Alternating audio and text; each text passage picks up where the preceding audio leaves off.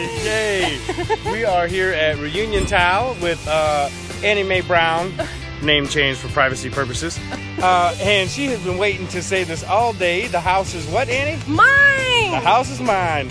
We just closed here. Uh, it was a tough process. Annie called me a few times ready to give up. But she trusted me and we made it to the end. So, congratulations, Annie. Yay!